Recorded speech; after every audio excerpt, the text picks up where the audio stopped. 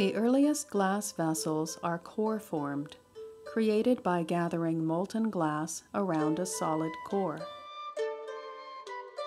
To make the core, a mixture of dung, clay, sand, and water is kneaded together to the consistency of bread dough.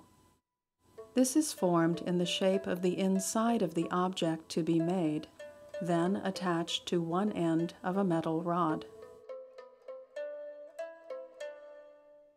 After drying, the core is given its final shape by trimming and filing. Ingots of glass are melted in a crucible within a furnace. The core is coated with the molten glass. Turning the rod ensures an even coating. Decorative threads of different color glasses are added by trailing. After reheating the glass, the threads are combed or raked with a pointed tool. Pincers are used to form the neck and the rim.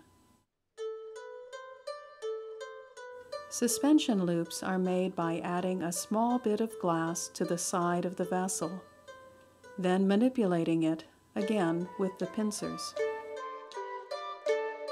After completion of the glass working, the rod is removed by giving it a sharp blow.